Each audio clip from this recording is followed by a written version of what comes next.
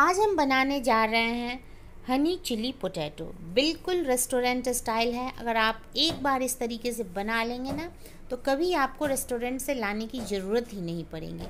बिल्कुल crispy crunchy करारा Honey chilli potato आज हम घर पे ही बनाएँगे। और ये सभी को, खास करके बच्चों को तो ये बहुत पसंद आता है। तो चलिए इसको हम बनाते हैं। तो हेलो फ्रेंड नमस्कार, मैं हूँ स्वाति। स्वाति सोनी रसोई में स्वागत है आपका।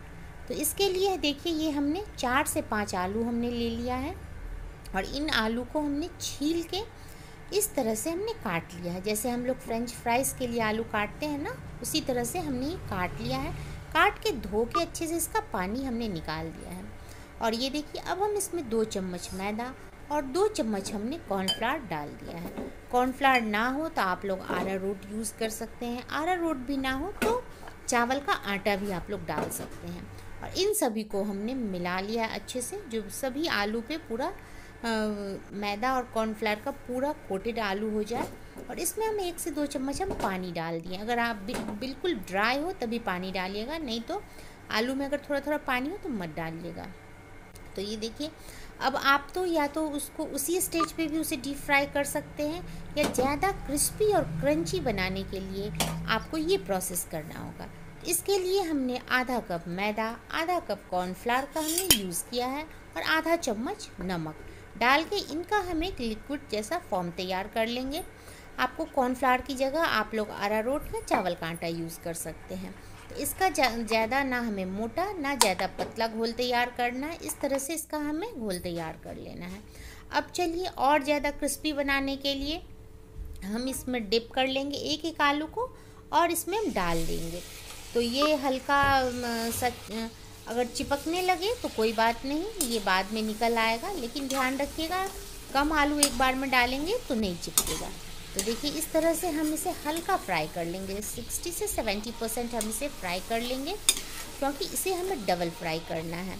तो जब हम सभी को एक बार में फ्राई करके निकाल लेंगे, फिर हम इसको डबल फ्राई करेंगे। तो ये देखिए हम इस तरह से पहली बार में फ्राई कर लिए हैं इसे। चलिए अब हम इसको निकाल लेंगे एक प्लेट में।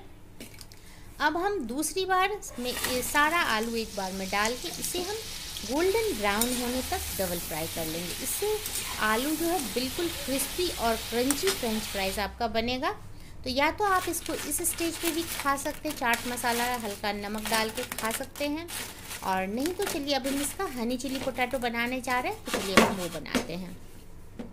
तो उसके लिए हमने एक कढ़ाही लिया है। और कढ़ाही में हम दो से तीन चम्मच हम तेल डाल देंगे। तेल हमने वही यूज़ किया है जो हम जिसमें हमने फ्राई किया था। अब हम इसमें पाँच से छः कली लहसुन को हम काट काट के डाल देंगे। हमें ज़्यादा फ्राई बिल्कुल नहीं करना है।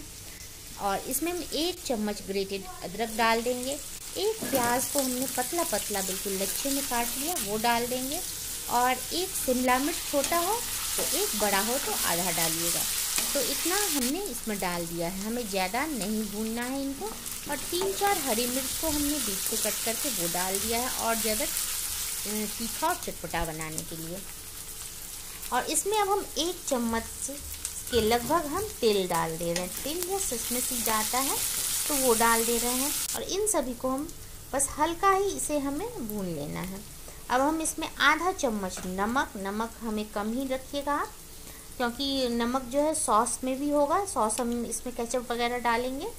और तो ये देखिए, इसमें हम दो से तीन चम्मच हम रेड चिली सॉस डाल दे रहे हैं। इससे बहुत बढ़िया टेस्ट आता है। एक चम्मच सोया सॉस डाल दे रहे हैं। सोया सॉस से आपका कलर भी बढ़िया आएगा और टेस्ट भी अच्छा आएगा। और एक से डेढ़ चम्मच हम टोमेटो सॉस डाल दे रहे हैं। आधा चम्मच हम काली मिर्च का पाउडर डाल देंगे और इन सभी को अब हम अच्छे से मिला लेंगे। अगर आपको और ज़्यादा कलर चाहिए तो आधा चम्मच आप और सोया सॉस यूज़ कर सकते हैं। तो ये देखिए अब हम इन सब में आधा कप के लगभग हम पानी डाल देंगे। और अभी इसको और ज़्यादा थिक और साइनी बनाने के लिए हमने एक चम्मच कॉर्नफ्लावर लिया है। उसमें दो से तीन चम्मच हम आ, पानी डाल के इसका लिक्विड तैयार कर लेंगे। और जब उसमें उबाल आ जाए फिर हम धीरे धीरे ये लिक्विड मिलाएँगे। और इसे चलाते रहेंगे। तो बिल्कुल ये स्मूथ पेस्ट जैसा है, बिल्कुल शाइनी शाइनी बन जाएगा। तो ये देखिए मार्केट वाले भी अरारोट का ही या कॉर्नफ्लावर का यूज़ करते हैं। तो ये देखिए, इस तरह से ये थिक हो जाएगा। कॉर्नफ्लावर डालने से तुरंत ये थिक हो जाएगा। अब इसमें हम जितने भी आलू हमने फ्राई किए हैं, वो सब हम इसमें डाल देंगे और अच्छे से हम इसे मिला लेंगे। एक से दो मिनट अच्छे से मिला लेंगे, जो पूरे आलू में ये चला जाए इसका ग्रेवी अब हनी चिली पोटैटो है तो हनी तो इसमें जाएगा ही। तो इसके लिए हमने इसमें दो से ढाई चम्मच हम हनी डाल देंगे। इससे टेस्ट जो है बहुत बढ़िया आता है। तीखा, नमकीन, चटपटा, मीठा, सभी का फ्लेवर इसमें बहुत बढ़िया आता है।